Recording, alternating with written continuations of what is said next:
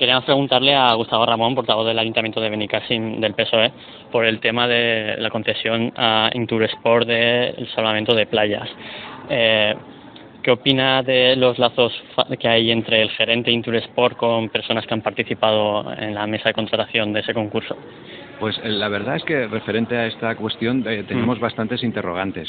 Eh, tenemos grandes dudas y no compartimos ni entendemos el por qué el ayuntamiento ha contratado con una empresa privada, pudiendo haber contratado con una empresa de carácter social como es Cruz Roja, un servicio que además ofertaba 32.000 euros más barato Cruz Roja que la, que la empresa privada. A partir de ahí, como queremos clarificar todas estas cuestiones, hemos instado al ayuntamiento de Benicassim y concretamente a la alcaldesa a a una reunión eh, con los técnicos y, funcionarios de la casa para que nos informen y nos clarifiquen todas las dudas que tenemos al respecto. Esa reunión la vamos a tener mañana por la mañana a las nueve y media y esperamos y confiamos en que se nos clarifiquen muchas de las dudas que se nos ha generado con la contratación de este servicio de salvamento y socorrismo que ya digo históricamente venía prestando y con total y absoluta eficacia Cruz Roja en las playas de Benicassim.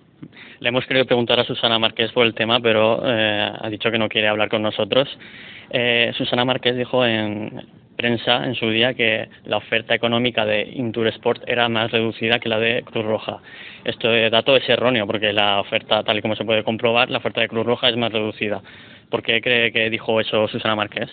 Pues la verdad es una contradicción que tiene que clarificar la propia alcaldesa, pero lo que sí que es evidente es que la oferta de Cruz Roja era 32.000 euros más barata que, la oferta de la, de la adjudicataria. Y esa es una de las cuestiones que nos tiene que clarificar, además de muchas otras que estamos percibiendo a medida que se va desarrollando el servicio, como es el caso de las postas sanitarias. Eh, durante la prestación del servicio por parte de Cruz Roja había 10 postas sanitarias en las playas de Benicassim y con la nueva, en la nueva contratación ese número de postas sanitarias se ha reducido a la mitad y tan solo son cinco las postas sanitarias que en estos momentos están prestando el servicio de salvamento y socorrismo en Benicassim. Son cuestiones que, como le digo, hoy mismo en el plenario le hemos preguntado cuáles son los motivos y si entiende lógico o apropiado el que se reduzcan, eh, se reduzcan el número de postas sanitarias y la alcaldesa nos ha remitido a la reunión de, de mañana. Vale, muchas gracias.